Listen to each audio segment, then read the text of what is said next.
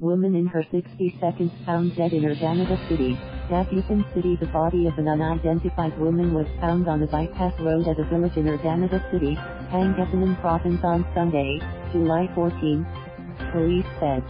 Investigators said the woman, ages 60 to 65 years old, had abrasions on the back when bystanders discovered her at Barangay Nancayasan around 8.15 p.m. Police said the woman could have been mentally ill, citing accounts of people who have seen her in the village.